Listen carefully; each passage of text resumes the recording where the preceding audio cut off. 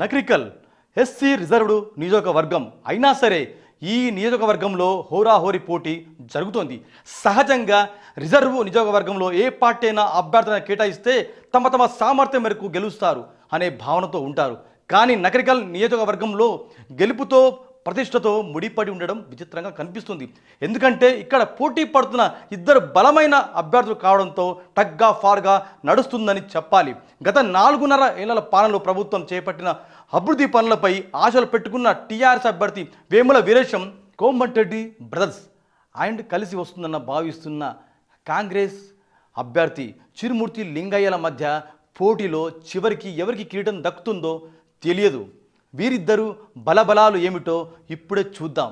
నల్గొండ జిల్లా నకరికల్లో నియోజకవర్గంలో వీరు వీళ్ళిద్దరికీ సవాలుగా నిలిచింది. ఎస్సీ రిజర్వ్డ్ నియోజకవర్గమైన ఇక్కడ యాభై వేలు ఒక ఓసీ ఓటర్లు ఉండడం కీలకం. దాంతో ఇద్దరు ప్రధాన ప్రత్యర్థులు ఓసీ ఓట్లపై లక్ష్యంగా ముమ్మరంగా ప్రచారం సాగిస్తున్నారు. మొదటిసారి గెలిచిన అనతి కాలంలోనే వీరేశం నియోజకవర్గంపై పట్టు సాధించారు. నియోజకవర్గంపై అంటిపెట్టుకొని ఉండడంతో పాటు చేసిన అభివృద్ధి తనను మరోసారి గెలిపిస్తుందన్న విశ్వాసంతో ఉన్నారు. అంతేకాకుండా రాష్ట్రం సర్కారు సంక్షేమ పథకాలు తనకు కలిసి వస్తాయని భావిస్తున్నారు. నియోజకవర్గం అభివృద్ధి కృషి ప్రజలతో మమేకం కావడంతో కార్యకర్తల సాధక బాధలు చూడడంతో వీరేశం ప్రజల్లో పేరు దక్కించుకున్నారు. అయితే తొలిసారి గెలిచినా కూడా వీరేశంలో ప్రతికూలతలు లేకపోలేదు. అధికారు అధికారులు ప్రతిపక్ష నాయకులే కాదు తన మాటలు వినని సొంత పార్టీ నేతలను కార్యకర్తలను కూడా బెదిరిస్తున్న ఆరోపణలు ఆయనపై బలంగా ఉన్నాయి. వీరేశం వ్యవహార శైలికి తట్టుకోలేక ఈ మధ్యలో ఏడుగురు టీఆర్ఎస్ వార్డు సభ్యులు కాంగ్రెస్ పార్టీలో చేరడం టీఆర్ఎస్ నేతలకు ఆందోళన గురి చేస్తుంది. అయినా సరే నగరికల్లో మరోసారి గులాబీ జెండా ఎగిరివేయాలని ఆ పార్టీ శ్రేణులు పట్టుదలగా ఉన్నారు.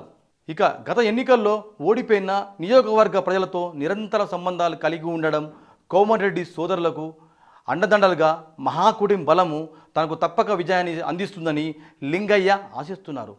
కేవలం కోమటిరెడ్డి వర్గీల మీదనే ఆధారపడితే గెలుపు సాధ్యమవుతుందా? అన్నది మిలియన్ డాలర్ల ప్రశ్న. అయితే నిరంతరం ప్రజల మధ్య ఉంటారన్న పేరు మాత్రం దక్కించుకున్నారు. అయితే అదే స్థాయిలో వీరేశం కూడా పేరు ఉండడంతో పాటు గెలుపు ఎవరికని ఎవరికి దక్కుతుందన్న విషయంలో ఎవరికి అంచనా రావడం లేదు. అయితే పేరుకే ఎస్సీ నియోజకవర్గమైన ఓసీ ఓటర్లు తీర్పే కీలకం కానున్నది. కాబట్టి ఓసీ ఓటర్లు ఎటువైపు మొగ్గు చూపితే వారికి విజయం అన్నది స్పష్టం.